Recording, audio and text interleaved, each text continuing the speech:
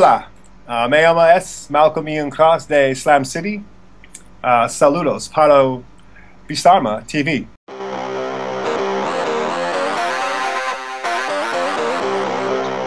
En esos programas hacíamos la conversión, digámoslo así, de, de gráficos de Spectrum, sobre todo, hacia, hacia los demás. Eh, Hacer un videojuego tiene una labor inicial de creativa, donde la idea es fundamental.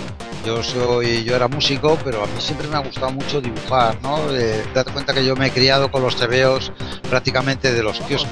Eh, a, a mí como me gusta mucho el cine y una de oigo podcast de, de videojuegos y oigo un montón de cine, y creo que 500 pesetas dos días, 3 euros un par de días o 3.